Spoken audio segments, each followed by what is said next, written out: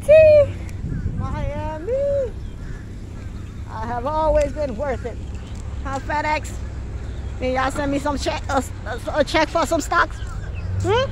I have always been worth it, you fucking haters. Even when they want to make you feel like the Dollar Tree. Hmm?